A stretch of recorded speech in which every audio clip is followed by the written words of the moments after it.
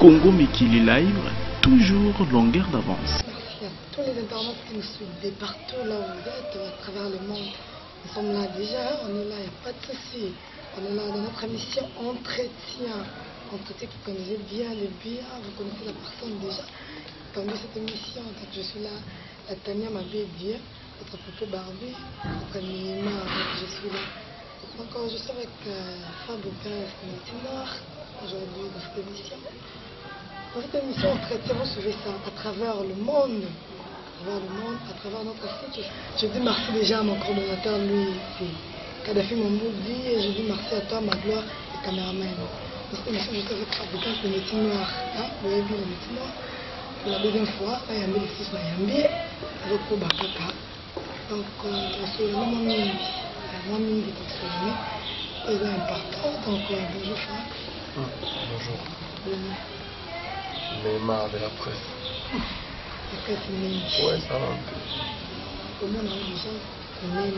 Ah, Najwa, tu vas me fâcher. Jamais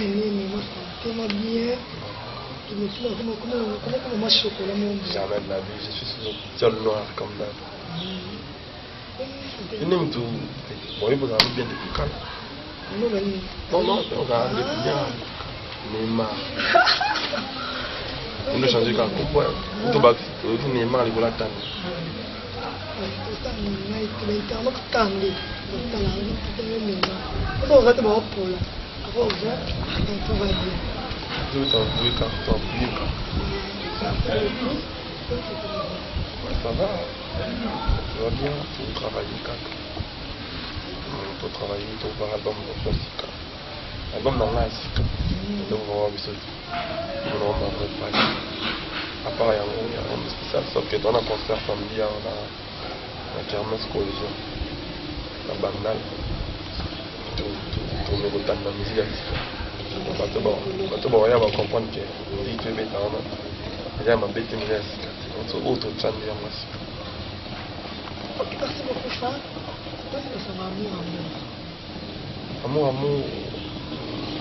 constitue nga basambo yango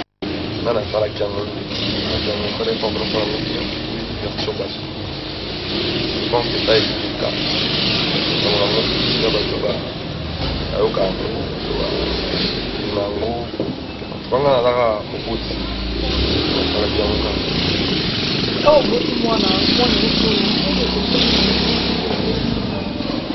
nza nalingaka loba kuna trop mpona mwana nanga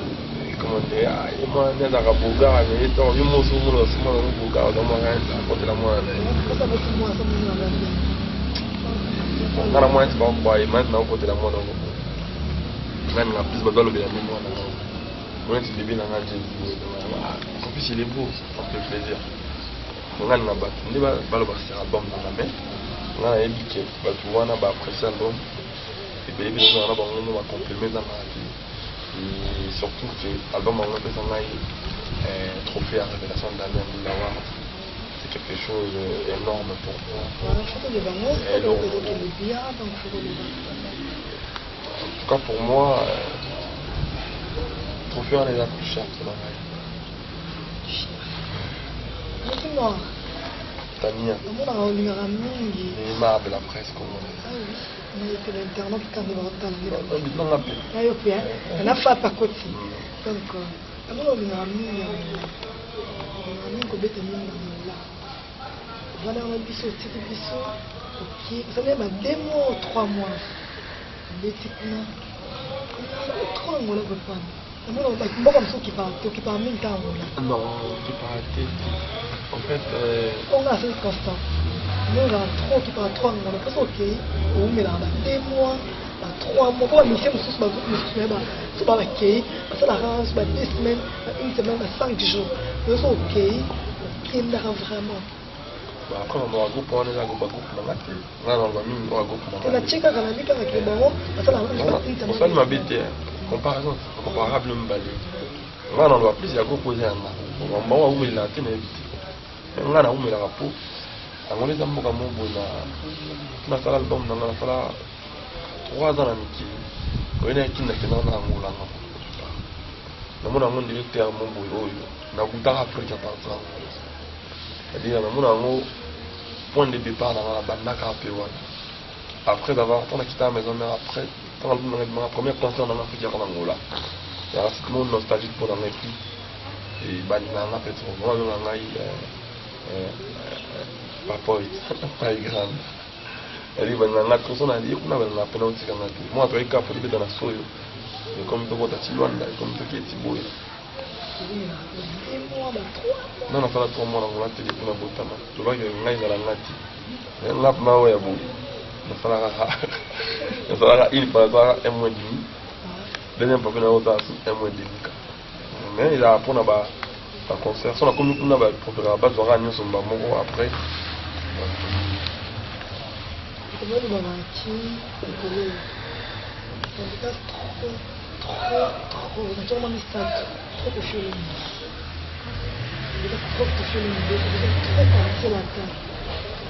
apasa koyisa biso vie ntoni yoke mingi mingi kaka kofi nayebi te soki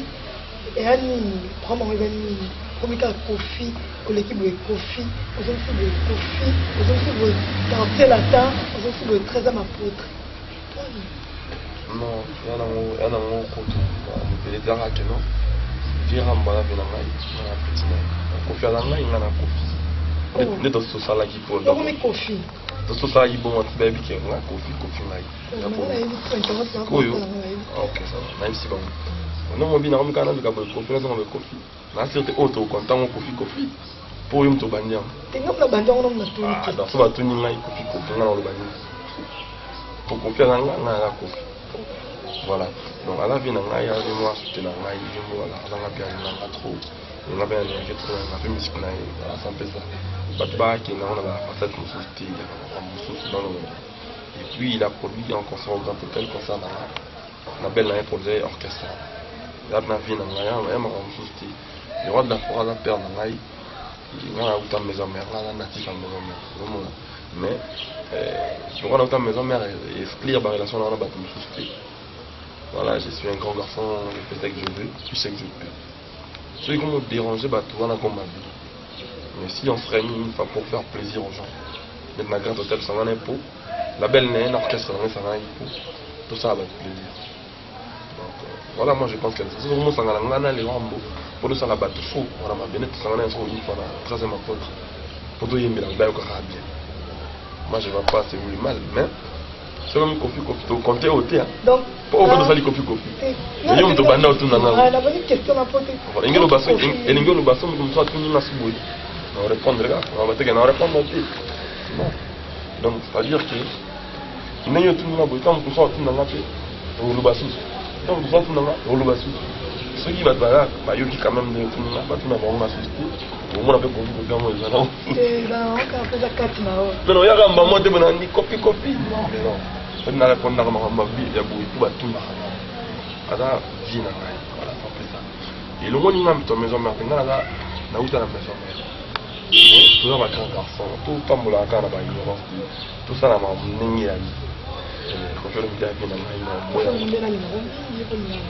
voilà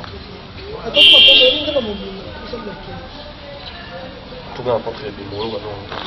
emizi omona na berambo oyo omona nyongo te mina sali culture bato bayoka ngo empe na tala posi miliki ya ya question mais kopia moko oyo balobi eza nde baboye tozosanola mamanzela boye tozosanola mo ezali bato bakazana tosako Non, ce n'est pas la même chose. Ah, c'est bon, c'est bon, donc je vais continuer ma deuxième Donc euh, Géraldine, je suis calée. Alors, on est au cas. Sukalisation. Regarde, voilà, elle. C'est bon, merci beaucoup. Amour à moi. Il y a aussi la photo de la manifestation. C'est bon. Vous pouvez faire eza yango eza mangre face na adomino ya sika nzembo nayokaki kaka oyembaki makambo bongai ainteresela makasi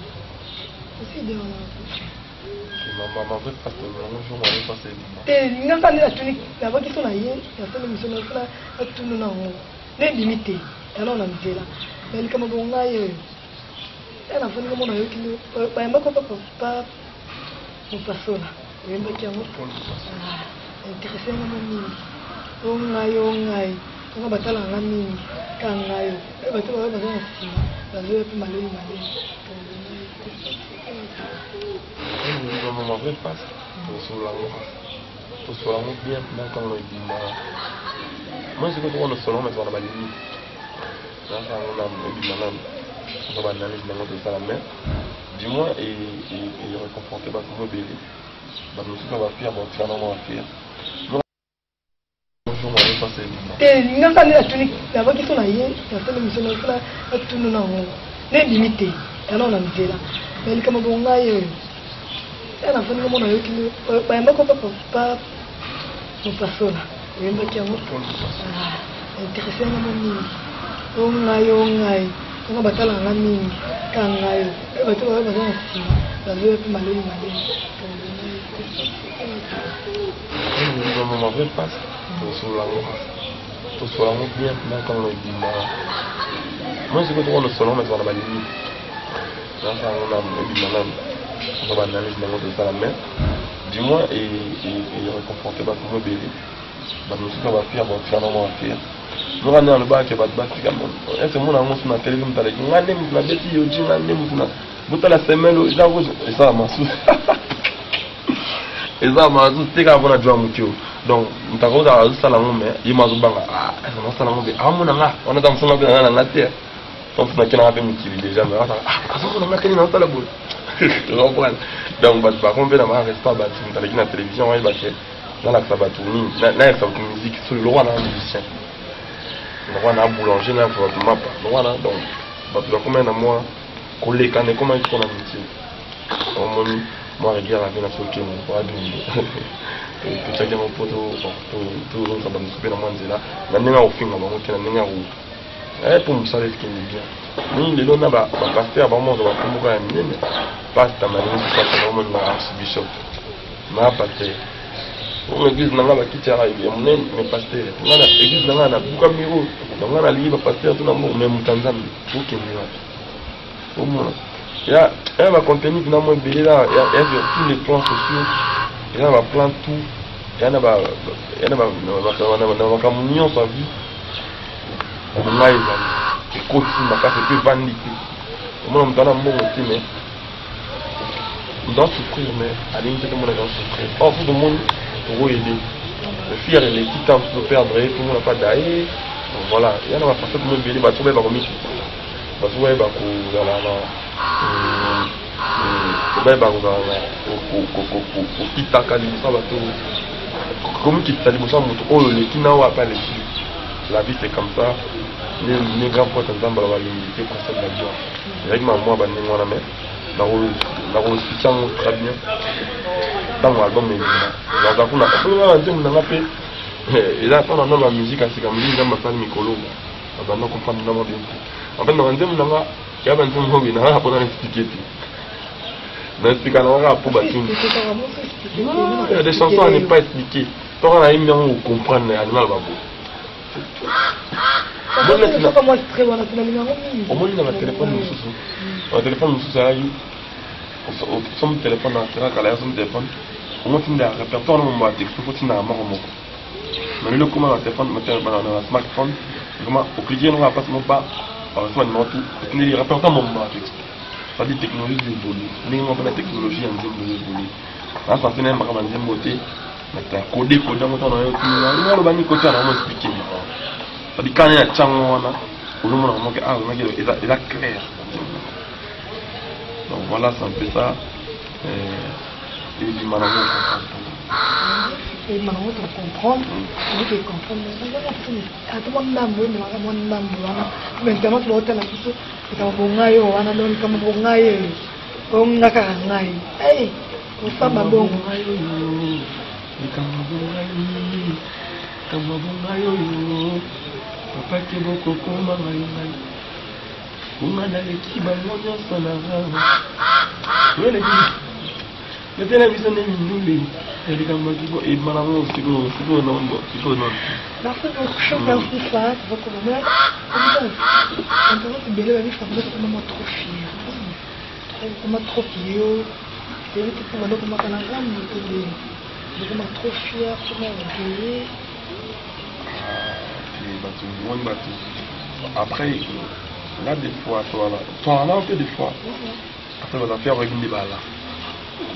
nayebi koyebi nde apatir bala ngai te internaute nde naotala biso nikosolanga bango akoma mofier akoma obiseko bato na koloba bango koza kasekona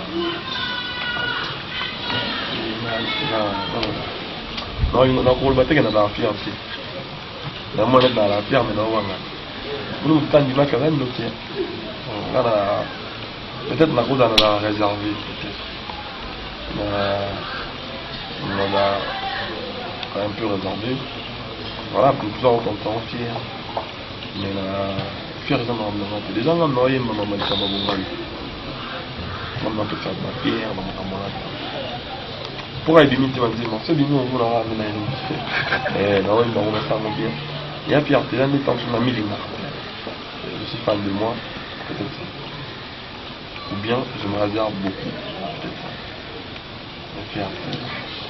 Bah, pierre.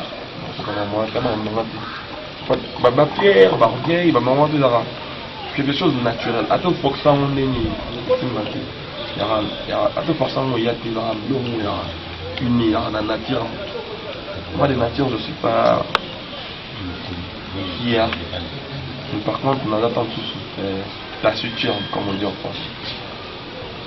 Voilà, c'est un peu ça. Bien. Attends on me l'appelle.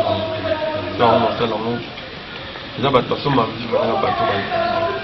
na bato batalaka biso na télévision ata naza te ya bandima te nasala ngo wala kompeta nakona te omoni bafiere eza non eza makambo yanga te aloza makambo ye bakona ye makasi kasabongele eza kitoko mingi na savane kita entre nozolo lobeda esalanga moko na majike nyonso ye ezola ngamba ezosala misi eza abibala oyoza vraimen okozenisa kobita oyo kozentre na sikina nyonso na ngambi aseloko mokelaton tami oyoza movandi kobita oyo nato eloko te navandi yango konsulté na pelika mondi ebilie oyo mokili ayekamasalaa ndimi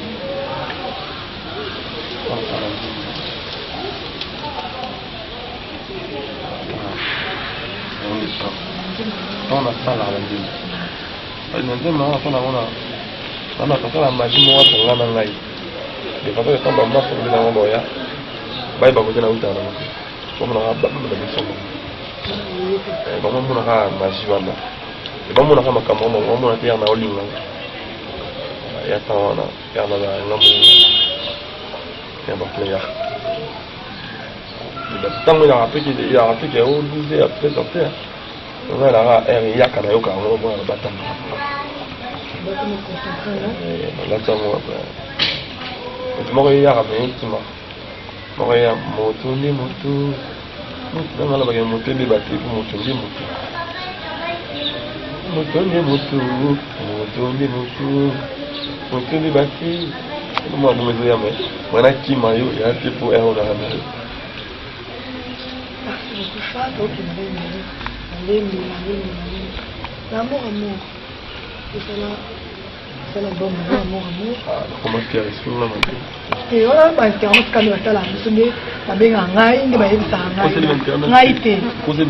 te nakosa bango makambo te nakosa bango nde bango babengaka ngai bango babengaka ngai bayebisaka ngai esir esotekomama yayebisaka bango moko te oyebiso mpe bango bakonfose kefaka na mbongo te ok On peut bien ah. on m'a oh. fier. On a fier seulement, merci. On a compris. On a un banque dans l'année à Rotel. Tu vas beaucoup faire un peu. On a trop eu. Ta fière, on a nga ona no banga wana makasi ala indi fier c'est bon fier ya na mbali mbali na ma fier eza ba fier ba charisme ba loin fier euh, ni amour amour album na yo ate mingi oyo mwasi ovandika obili makosa kasini asalanga motema na mobima nzembo moko ye moko osepelaka nao makasi moso ozolekaka banzela ozokaa ebeta trop natya makambo wana ezalaka na nzembo moko oyo ezalaka naloba natya makambo wana nyonso te ezalaka na nzembo moko oyo ezalaka na nzembo moko te moso ezalaka pe mibale tosala nini nzembo nango na yango moso ezalaka trop non ngai banzembe nanga nyonso pardon excusez-moi banzembe nanga nyonso ayaki mpe na motema na ngai nga nasala mosala mpona asala plaisir banzembe wana mpe ezalaki bamakambo oyo biso nazwaka na bafai sociale biso elekela bato bayelinga yango ngai na continue kona vala banzembe tu nasalaki sango mpena na motema voilà par contre tour ondena na mélodie moko tobela masa na yango flambeau za eroi flambeau za eroi ya na bamikili ya perda merle abina masa akosa mpo album nanga to moku tonga ndoma na merle oyempana yo manzeno euh, matanga ya mere masa na olela mere naoporte yango mpena na soutenir baorphelin tout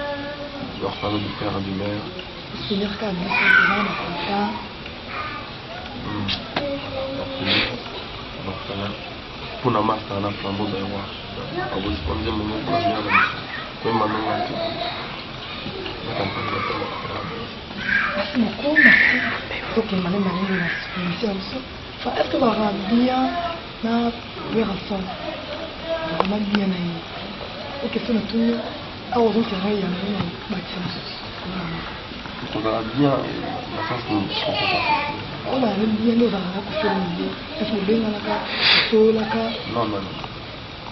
Mais toi, on a compris. mpona na monai na masango masango mpe kitamba na ntango obetaki na monai mer vie natoka bianko ana profite na kino question ton avis te awa fo ton avis wana question avis wana mona mpe mer vie te ana vie hommage yakolela ije kitamba na masana ngai elwaka na ye kipindi alikikambana masala kanagata nobitana bango bongo donc nayebi ti nzotala imana na ngai nayeki wana mpona vie na ngai lokwa la forêt pe azalaki mwa ilikambana wazalaki masta na ngai voilà moi c'est tout ça Merci beaucoup. mama supe biso biso kamo conseil kopesa mikono kopela akomi lider ekwayo asime mpe baresponsabilité wana En tout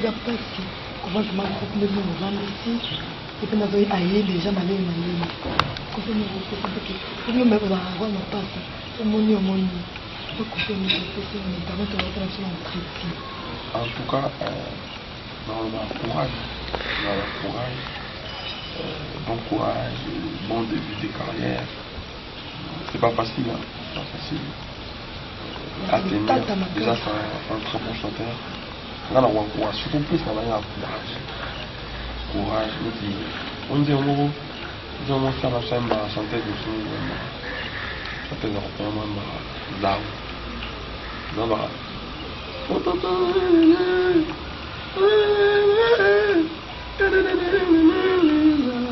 Courage, je l'ai, je l'ai, il m'a pas pu, je l'ai. Nzemba zao wana ngai C'est-à-dire, il, un courage à nouveau. Courage On aura l'habitude de courage. Bon courage, c'est un très bon chanteur. Moi je pense que au fond de ça, on a encouragé. Bon courage, il y a toujours eu des, des murmures, il y a toujours eu des calmes devant, il y a toujours eu des. Mais tiens-toi debout, mon gars, tu l'as fait des autres, ça a toujours été comme ça. ezala boyo bato balingaka tosala na malamu so toyona toyingana te tobola tokingana te makambo mpe ezala bien puis so tosala na po te surtout to bakongolais kongolais na motema na toko bolingo ningaka elobaka ayana frare na kongolais voilà pendant epa epuis bambotela bato batali biso